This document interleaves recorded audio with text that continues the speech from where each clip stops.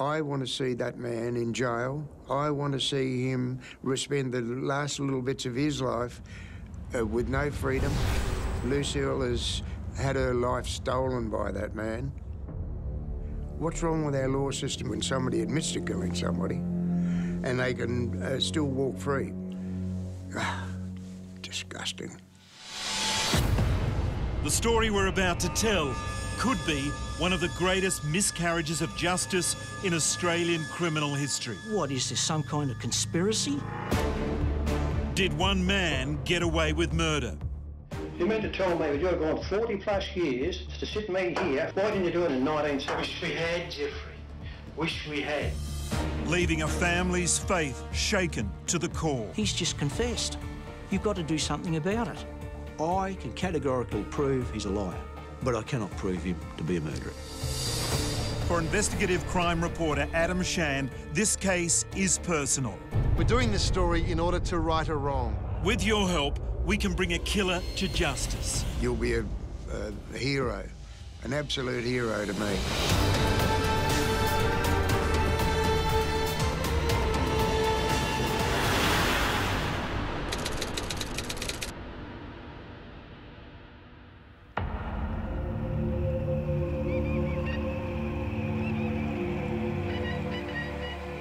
Came across the story of poor Lucille Butterworth about two years ago. That was after the Tasmanian coroner declared it was likely that she was strangled to death and her body disposed of on the banks of the Derwent River. If the coroner's to be believed, and there's no reason why we shouldn't believe him, her killer has gotten away scot-free. We're doing this story in order to right a wrong, to finally bring her killer to justice. I've lived and breathed this story for a very long time, and it's time to share it with you.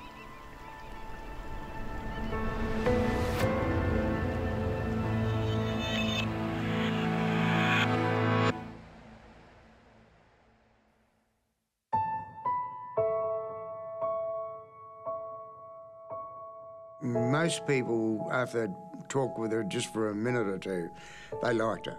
It was she just had that attitude, uh, radiant, you know. Had a little um, playhouse up the back that was actually the old chook house, and it was all cleaned out and made it nice. And um, she'd, you know, want me to go up and have cups of tea. You know, it was good. Yeah, it was fun. When Lucille finished school, she started modelling and took a job at the TV station in Hobart. She had an orange coloured uniform. That was the, the office uniform. Uh, and the coat, that black coat with the white. She modelled that coat and she walked around and then she came over to where I was sitting and she said, I love this, Mum. Can I have it? I said, yes.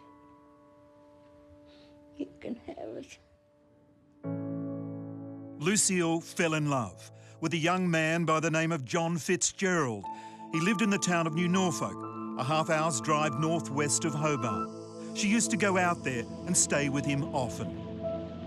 On the day she went missing, Lucille was making the journey to stay overnight with John after attending a Miss Tasmania fundraiser. She planned to drive there in her little Austin A40.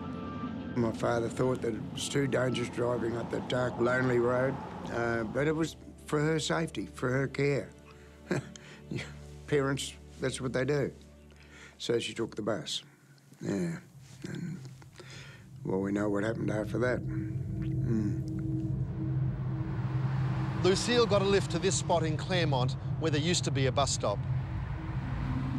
In 1969, all the buses to New Norfolk had to stop here but on August 25, police believed there was a problem. The bus she wanted to catch was late. She thought she'd missed it. A car pulled up and she accepted a ride. And that was the last time anyone saw Lucille Butterworth.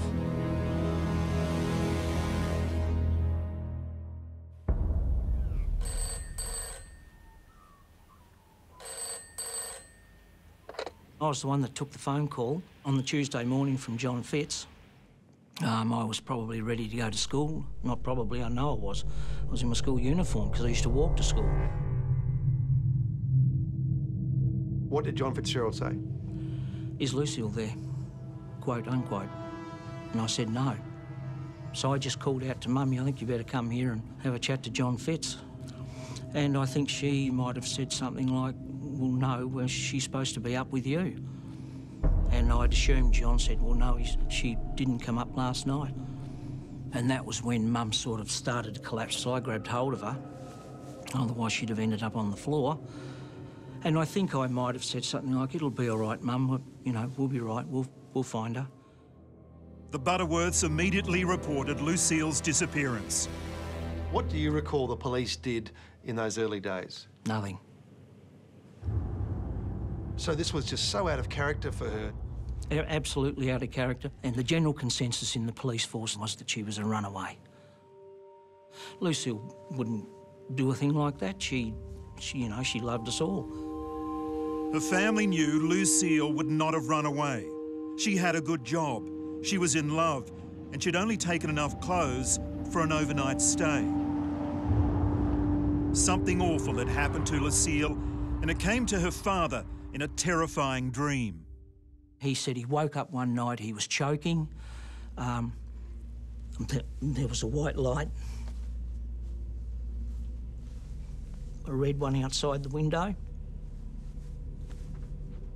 He said to me, quote, Lucille has been murdered. That's what he said.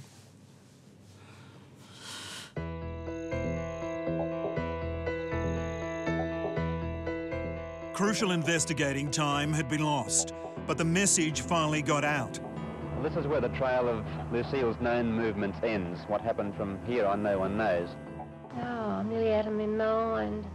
I feel as though I've had a limb torn away from me. It's a terrible feeling.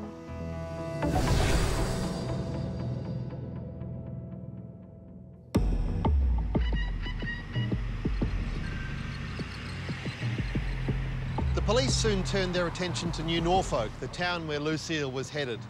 They formed a view about a former policeman turned taxi driver, John Gannon Lonergan. He had a history of picking up women in bus stops and sexually assaulting them. The Chief Investigating Officer, Inspector Orb Canning, was so convinced that Lonergan had murdered Lucille, he refused to investigate any other leads. Canning was, he, he was fixated with Lonergan, there was no doubt about that. Well, for one thing, Lucille wouldn't have got in the car with him because she didn't know him. Why didn't Inspector Canning have enough understanding of Lucille to realise that they needed to find other suspects. Canning's tunnel vision proved disastrous. The case against Lonergan stalled when police investigators were unable to place the rapist near the Claremont bus stop, where Lucille went missing on August 25. Lonergan was the prime suspect, but nothing happened. What toll did that take on your parents? Ah, uh, well, well, it, it, it took a huge toll on both mum and dad. Uh, dad, I'm sure Dad died of a broken heart. Um, and having a daughter of my own, I can understand that now. And for Mum, uh, she didn't want to leave the house that we were in um, because she thought Lucille was going to walk up the driveway. When Lucille's parents died, they left instructions for their ashes to be scattered in a rose garden across the road from the bus stop in Claremont. They lived in hope until the very end. Someone may talk and we'll have something to put it to rest. A little bit of peace, peace of mind, instead of the wondering. For 41 years, nothing had been achieved by the police. Then Detective Inspector David Plumpton arrived at the Glenorchy CIB. In the 60s or 70s, most everybody was aware of Lucille Butterworth, the missing person. Why did you take it on? yeah, I don't know. Because you could. That's the difference. People say things because it mattered. I don't know, does that make sense? because it mattered. But what made it really matter was when I meet Jimmy Butterworth and John Butterworth. Oh, the face of someone who's suffering from that immense personal loss. And you've got control over something that can help them or maybe lessen the pain. So it becomes a bit of a focus for me at Glenorchy CIB. So having a look at the file in 2010, Yep. what conclusion could you draw from the file? That Lonergan was the number one person of interest and more than likely the offender. But there was another name mm-hmm. in the file. Just to mention, what was that name? Jeffrey Charles Hunt. Next, police finally make a breakthrough. We put him into the police vehicle and uh, he was quite uh, calm and uh, without hesitation he confessed.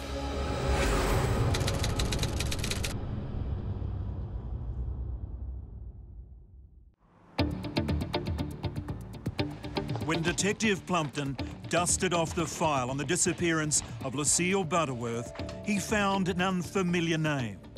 Jeffrey Charles Hunt. Jeffrey Charles Hunt had murdered a lady by the name of Susan Knight, car saleswoman, in 1976.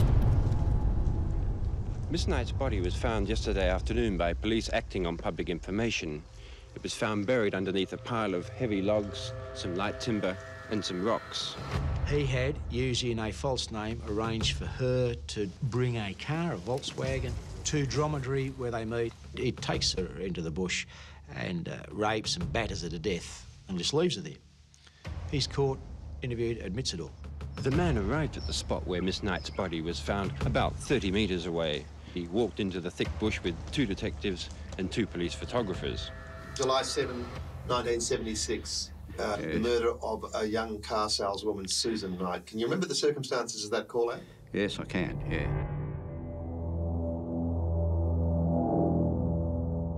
Was horrific, really. She had horrendous injuries and she was uh, um, naked and she had a nasty wound to the head, obviously bashed to death with a stone. After the body was discovered up at Mount Dromedary, a, a person that knew Hunt had seen his vehicle being driven in the general area of where the uh, used car was found abandoned. And uh, as a result of that, we decided that uh, he was a person of interest and we would uh, pick him up and interview him in relation to it. The man accompanied detectives back to the car and drove off towards Hobart. We put him into the police vehicle and uh, he was quite uh, calm and uh, without hesitation he confessed to murdering the girl Knight. In the vehicle, you told In the vehicle on the way to the Glenorchy police station, yes. So you get there and the formal interview begins. Yeah, we get there and we do the formal interview, uh, which was in the form of um, typewritten record of interview. And that was done by me in the presence of uh, Detective Dillon. Remember, this is 1976. Police didn't use videos and computers. It was all typed or handwritten. Barry Dillon had worked on Lucille's disappearance seven years prior, and something in Jeffrey Charles Hunt took him back to 1969. So he asked Hunt, could he help with Lucille as well? What happened next was extraordinary. At the conclusion of the uh, interview, he said, Yes, I know all about that. And he went on to say that uh, uh, he'd uh, picked her up from the bus stop. He knew her, of course. So uh, she accepted the lift and uh, on the way to New Norfolk, on the other side of a place called, known as the Lime Kilns, he stopped the car in a cutting further past the uh, lime kilns and uh, when he stopped the car, something come over him, that was the words he used, and uh, he grabbed her and tried to kiss her and she struggled. Next thing he knew, he said he, hands around, he had hands, his hands around her throat, strangling her. In fact, he said he did strangle her and, and she died. He said, and then he got out of the car and uh, put her in a fireman's lift, carried her out there some distance towards the Derwent River and um, dumped, her, dumped the body there. This is without us questioning him. He just freely said this straight off. Did he explain to you why he was telling you this? No, he didn't. Uh, I think when it was put to him, it seemed to me that he was just so relieved to get it off his chest. That's the impression that I got. O'Garry and Dillon had Hunt confessing to the murder of Lucille Butterworth. They were related, and so they should have been. They still needed their boss to sign off on the confession. So who did they call? Detective Inspector Orb Canning, who'd been in charge of the original investigation back in 1969. Canning, who'd been fixated on John Gannon Lonergan and refused to let go even when he couldn't charge Lonergan. And now he was still fixated on Lonergan when he had Hunt's confession. This was about to set in train one of the great failures of justice in Australian criminal history.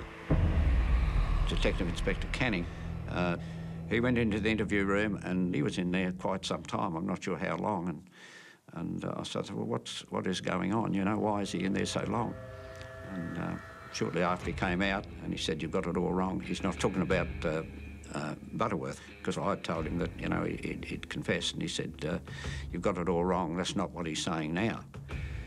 And uh, with that, Detective Dillon said, I'll go back in. He went back in to see him. And he, Dillon came back out and he said, well, he's still saying the same as he told us.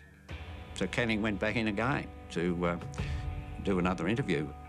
And this was completely against uh, proper practices. And he came out to me and he said he's unable to assist. And when I had to fill the interrogation register out and detail what he said, and I, and I put that down because he said he didn't want any complications. So the confession was never recorded and would have gone unnoticed to this day if it weren't for Detective Plumpton, who met with O'Garry and Dillon in 2010. And that is when they say to me, Hunt confessed. So Hunt's confessed, but he hasn't confessed.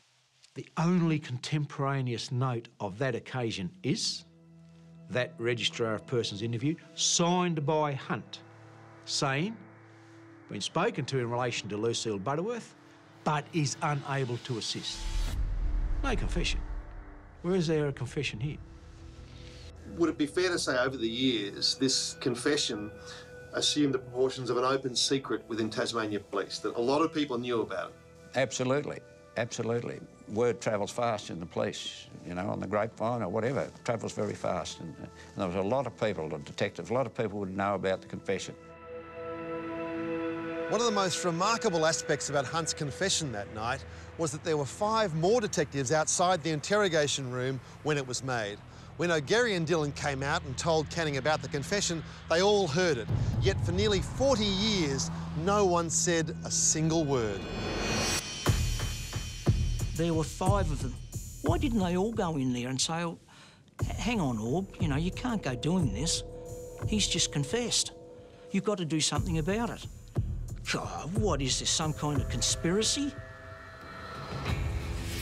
My mother and father died because of the stupidity of the police. Next, Plumpton rebuilds the case against Hunt, brick by brick. We've got Hunt driving a family car that a witness describes as being present and stopping at the bus stop.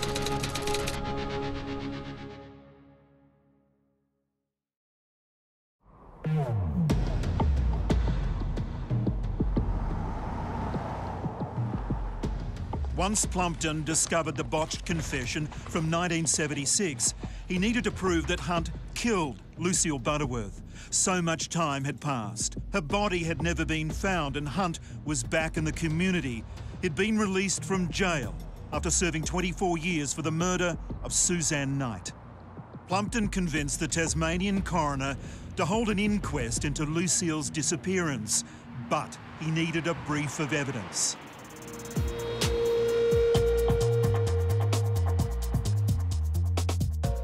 Station Street, New Norfolk. This was one of the key locations of David Plumpton's investigation because it was here that Lucille was headed to the night she disappeared. Her boyfriend, John Fitzgerald, lived here on top of the general store. It's a residence now, but back in 1969 it was a store that John ran with his father. But who else lived in this street just down the road? That would be Bill and Mavis Hunt and their six kids. What set the family apart was that five of the six children, including Jeffrey, were albinos. In a small country town, they really stood out. Have you fellas are ready? Right. How tough do you think it might have been for those Hunt children growing up in a place like New Norfolk? I think Jenny probably copped the worst of it, um, being female. The most of the others are pretty well accepted. What about Jeffrey? Always strange. Even if you just pass him in the street. You'd feel uncomfortable initially, and then if you got close to him, you, the hair on the back of your neck would go up. You just didn't feel safe around him. At that time, Jeffrey Hunt was working in the Fitzgerald store. He would be stocking shelves or working at the back. You'd see him driving the delivery van between the two stores. And yet later he denied completely working there. No, he's definitely there. Hunt would also deny that he knew Lucille. Didn't know her. Lived nearly opposite. Perved on her over the fence. She was sunbreaking on uh, the Fitzgerald's uh, lawn. And she got up and went inside and told John, oh, Whitey's been looking at me. And uh, John said, oh, don't call him Whitey, he doesn't like that, you know. So, hmm. It mattered to police that Jeffrey Hunt knew Lucille. It gave her a reason to accept a lift from him at the bus stop in Claremont, albeit reluctantly. Police had another very good reason to investigate Hunt back in 1969. It was well known in New Norfolk that as a 16 year old, Jeffrey Hunt had been accused of molesting a girl at the train station. Correct. You know, you heard your parents talk or relatives talking about it, and as far as I understood, it was true. But why wasn't he taken off to boys' home or anything like that? I think he had, uh, or his father had friends who protected him or protected the family.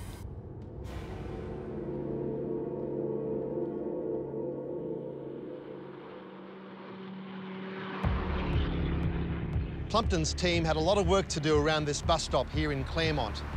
They had to prove that Jeffrey Charles Hunt could have driven past here on his way home about the same time as Lucille Butterworth disappeared. If they could do that, they could put a strong circumstantial case before the coroner. And Detective Carrie Millhouse, a key member of Plumpton's team, did just that. He is meticulously going after bits and pieces, pulling things back from the 1960s, the 1970s, highlighting things. And all of a sudden, we've got Hunt driving a car. We've got Hunt driving a family car in and out of work. We've got Hunt driving a car that a witness describes as being present and stopping at the bus stop. No one had this in the past, but we now have. So we're not relying on an apparent confession. We've now got Jeffrey Charles Hunt, known murderer, driving by, stopping at the bus stop. Lucille Butterworth there prior to this car stopping. Lucille Butterworth not there after the car leaves.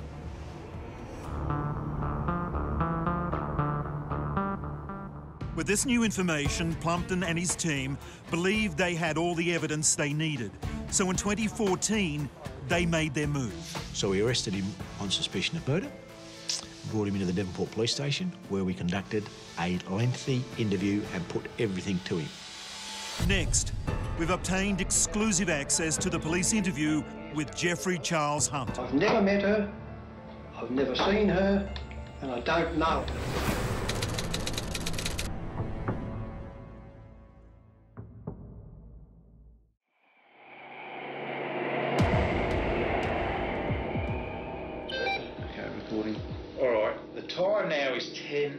10.18 a.m. 45 years after Lucille Butterworth vanished, detectives Plumpton and Millhouse sat down to formally interview their chief suspect. Mr Hunt, could you please give us your full name, age and date of birth? Jeffrey Charles Hunt, born on... What you see in this police interview is a torturous process unfolding. It's a marathon, goes for more than four hours. Depending on the question, Hunt will either answer truthfully, lie, be evasive, or go off on long, rambling monologues. Plumpton and Millhouse set out to establish a pattern of lies. And a good place to start is the Fitzgerald's shop and residence in Station Street, New Norfolk. Now, John Fitzgerald, you know John Fitzgerald? I do know of him, but you never saw him much. People have told me, Jeff, that you actually worked at the Fitzgerald store. I'm afraid you're wrong. Well, well, I'm not wrong, they're wrong. Lucille Butterworth? You know who she is? I Only what you read in the media over the years. Well, are you saying you didn't know her? I don't know, I don't, didn't know her. Do you recall looking over the Fitzgerald's back fence on a beautiful sunny day? Lucille was there sunbathing? Never done it before. Enough about what you're talking about. Well, she passed that information on to Joan, Joan Butterworth, her sister-in-law. Did she? she said that man that I call Whitey. He was looking at me over the fence. It made her go inside. I do not know the lady, never set eyes on the lady. Oh, she knew you well enough to get into the car with you. I'm afraid that you're wrong, she never got um, When this lady disappeared, um, where'd she go missing from Claremont? Just here, Claremont. This Yeah. is the area here, the Claremont bus stop that you drove home past every night. I didn't drive home in that area. I used to catch the bus until 71. That's when I bought my, bought, bought my first car. Hunt's story was that he was on the bus that day in August 1969. He said he didn't get his driver's licence until December of that year, but the police knew that was a lie. Where did you get your driver's licence? At Norfolk. And who took you for your licence?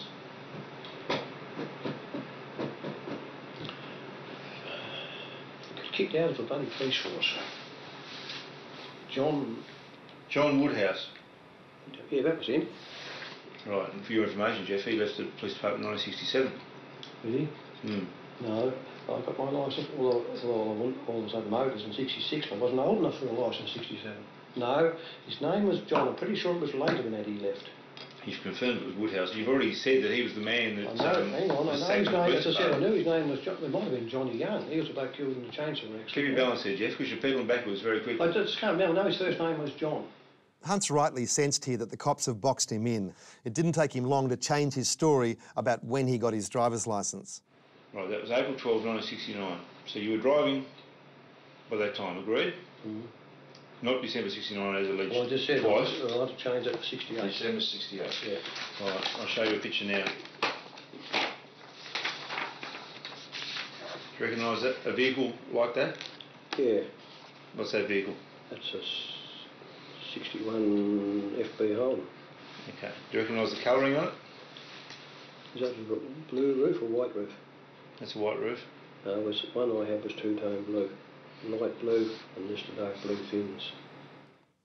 Now, the car that Millhouse has shown Hunt is very similar to the family car that Jeffrey's father bought back in the 60s. Hunt Sr. didn't drive, so Jeffrey was the only one who drove this car.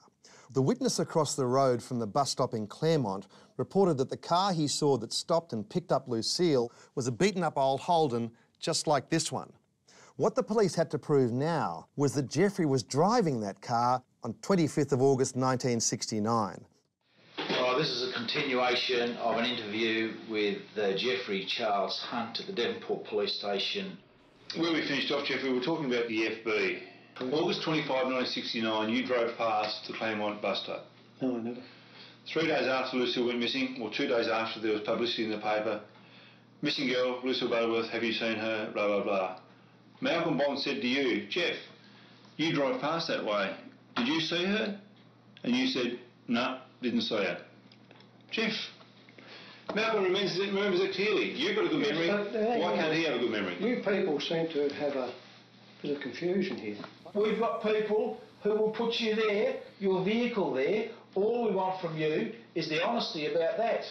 Look, I'm being honest with you, Inspector. I know nothing about this lady No, no. that disappeared, how many years ago, whoever it was. I've never met her, I've never seen her, and I don't know her. Malcolm Bond says, I saw him driving the FB at times. I'm pretty sure he parked it up near Melville Street where I did. halfway through the interview, I think he realised that you weren't putting Absolutely. evidence on the table that was going to convict him. Absolutely. And There he was. became- His attitude changed. How did it change? He's far more confident. And he became oh, assertive. Yeah. Did you pick up Lucille Butterworth No, on the 25th of August 1969? no. Did you drive her to a park on the Hobart Road towards New Norfolk where you sexually assaulted and murdered her? Did No. you do that? No. We went there to obtain a confession from Mr. Hunt. We didn't obtain that confession. Now, you've got bloody evidence to say that I'm involved with the disappearance of this lady. You present it now, and let's get all it. Come on. Because you're not going to admit it, are you? I'm admitting nothing. I told you. If we'd have been good enough, we'd have got a confession. At the end of the day, let's be clear. Oh, I can't put up all these um, excuses. There is no excuse. You meant to tell me that you've gone 40 plus years to sit me here for a couple of hours and ask me those bloody questions. Why didn't you do it in the past? Well, I was at prison for 26 years. You never come anywhere near me between when the lady first disappeared until I was sentenced into the prison in 1970. Wish we had, Geoffrey. Wish we had. Well, Wish it had that- been done. that is not but that's not our fault. I can categorically prove he's a liar, but I cannot prove him to be a murderer. The time now is 12 minutes past three. Really?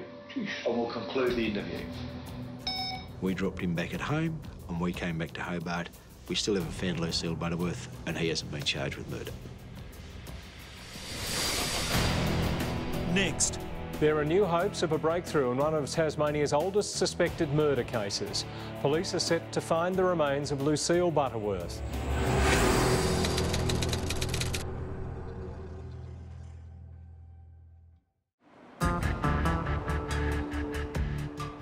Despite an epic four-hour interview, the police had failed to extract a murder confession from Hunt. They didn't have a body either, so they ordered a dig. There are new hopes of a breakthrough in one of Tasmania's oldest suspected murder cases. Police are set to start digging up an area north of Hobart in an attempt to find the remains of Lucille Butterworth. So, David, why did you come and dig here? At this location you're about at now, that road is not where the road is of the day. The lay-by has changed, but we determine this is the location that Hunt strangled Lucille, took a body from a car parked here, out into the bush and dumped a body. So we dug it up, obviously. We had here forensic experts who are internationally and nationally recognised for their skills in this type of thing.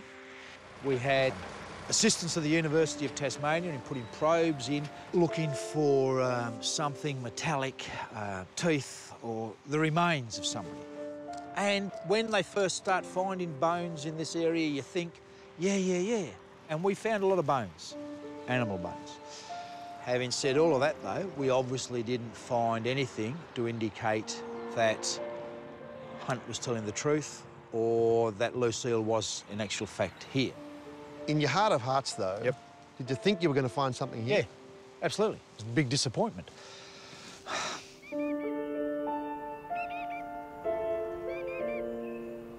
One of the issues, of course, is where the water is Oh, here. yeah.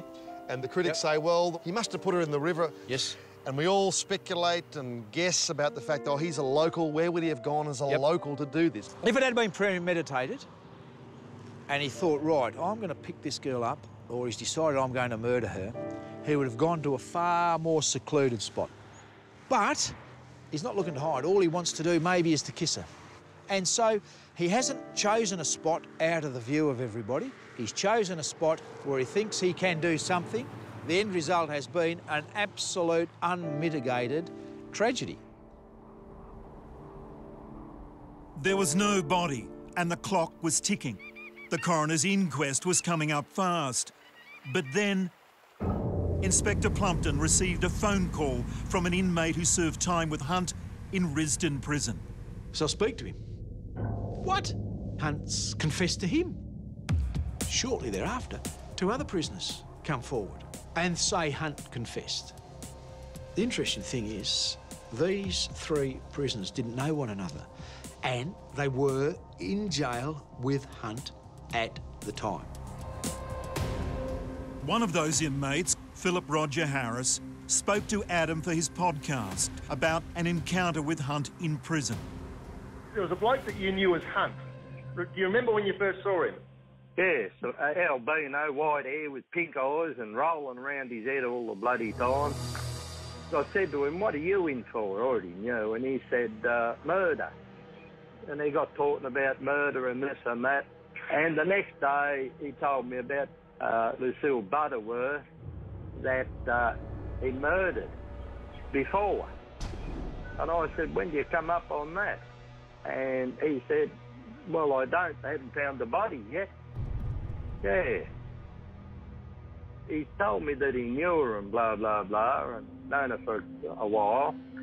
And he said he picked her up and we was going back home to New Norfolk and she uh, got panicky and wanted to get out of the car. So we stopped the car and he reached over and strangled her.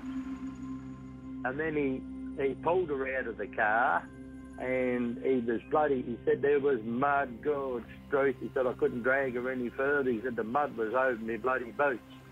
He said so I just left her there. And I thought to myself, well, it must be near the river somewhere. That's what I Mm. thought. I asked him, would he ever do it again? He said, yeah, sure. He said, I loved it. Did you think about telling the police what Hunt had told you? No, because I just thought he was bloody like me, you know, just big noting himself like everyone does in jail. You only believe half the bullshit they tell you. He's a very clever man, don't get me wrong. He's, I tell you what, he's got astronomical brain, that man, but uh, he's psycho.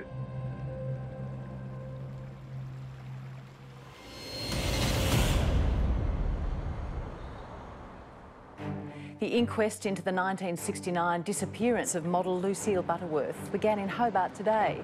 I'm full of confidence because Mr Hunt is not only going to have to give evidence, but he's going to have to answer the questions. Very rarely does that happen. Geoffrey Charles Hunt has made his first appearance at the Lucille Butterworth inquest. Isn't it time that you told them what happened? You're sitting in the court there. Yep. And you see Hunt in the witness box. Can you describe your feelings? Hmm. I'd have shot him. Sorry, I probably shouldn't say that. I'm not a violent person, but yeah, it was it was pretty hard. And how did you regard the evidence he was giving? Um. Okay. Do you want it politically correct? No, rather the truth. The truth? It was lies. He lied. He could describe in intimate detail the number five cylinder on the FB Holden that didn't work.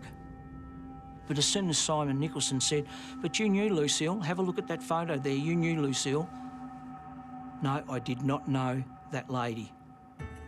That's just about a quote of his words. And during the course of that inquest, we had to listen to witnesses who were autonomous to one another but were um, in prison at one stage with Hunt. And one of them had said, this is Hunt saying, you know, pick up a Sheila at the bus stop and, and then to dispose of the body, um, you cut them open and put a brick in it and they sink in the water. So we had to sit there and listen to that. It was too much for Miss Butterworth's fiance, John Fitzgerald, who was wheeled out of the courtroom sobbing. I just hope in the next couple of days something comes up out of this. We, we, we deserve to know what happened to Lucille.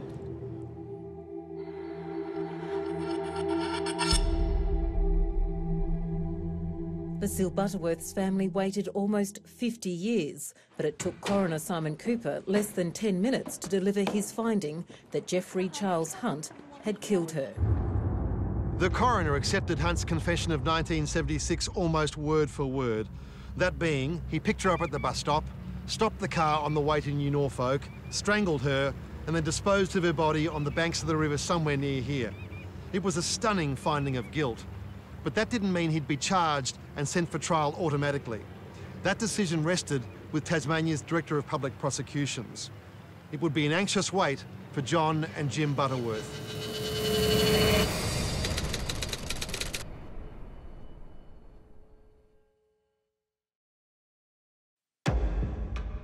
The Tasmanian coroner found that Geoffrey Charles Hunt killed Lucille Butterworth in 1969, but the decision as to whether he would be prosecuted, that rested with the DPP. Haven't you lied about this time and time again? Did you kill her? At that point, were you confident there would be a prosecution? Yes, absolutely. And then the Director of Public Prosecutions calls you in for a meeting. Yes. What did he say to you?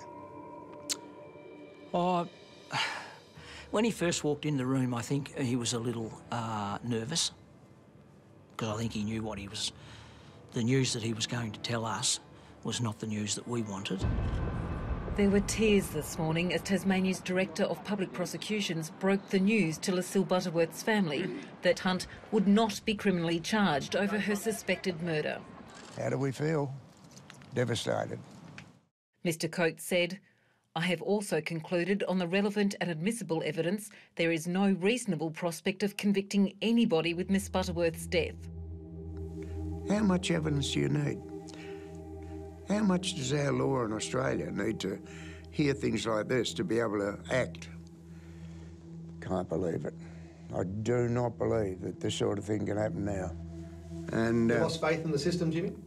absolutely, absolutely. Time that you told them what happened? As it stands now, everyone thinks he's guilty. You begin to realise, no, this is this is an injustice. It's not justice. We want him brought to justice. We want him put behind bars. That's what we want for Lucille.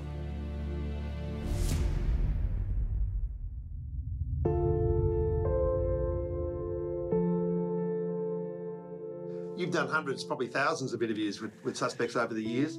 Do you have any doubt in your mind that he's the killer? Absolutely none at all. You walk past the bus stop most mornings with your little dog. Yeah, every morning I go that way, yeah. It does come back every now and again, you know, and I discuss it with Dylan and we say, what if, what if?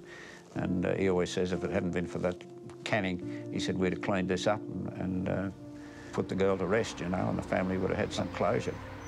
At the moment, there are two memorials that Jimmy's put up, one at Claremont near the bus stop and one out where her remains, we believe, were disposed of.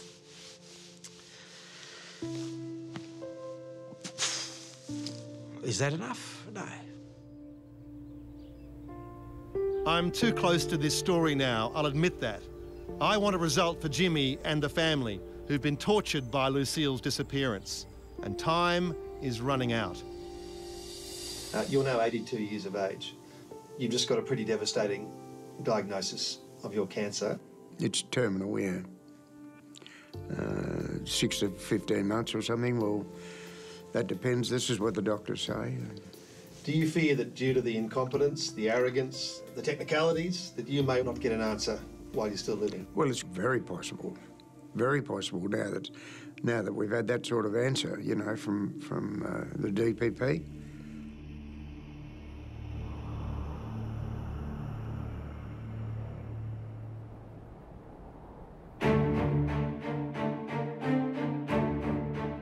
Lucille Butterworth is dead, and her alleged killer, Geoffrey Charles Hunt, still lives in the small town in northwest Tasmania. I can't name that town for legal reasons. But I reckon he'd be the loneliest man in this state, and it's hard to argue that he doesn't deserve to be so. When I was making my podcast, I decided I needed to see him to understand what his life was like. So I staked out his house, I followed him around for the best part of a day, and I took this photograph of him.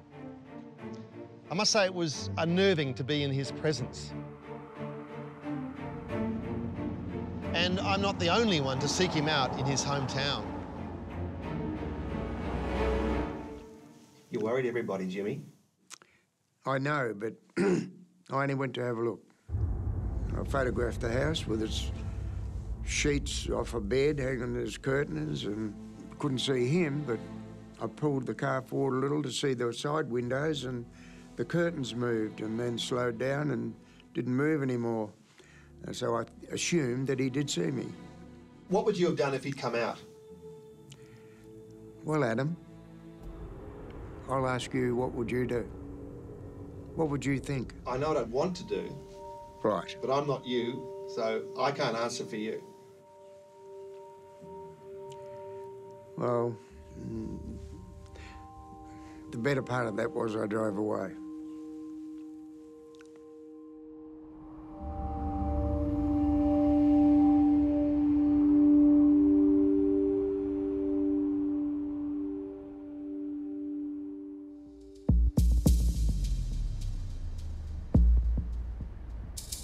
I've been reporting crime now for about two decades, and I can't think of a more obvious miscarriage of justice. I sought an interview with David Plumpton's successor at Glenorchy Police Station, and the police media unit told me there's no active investigation into Lucille Butterworth's murder.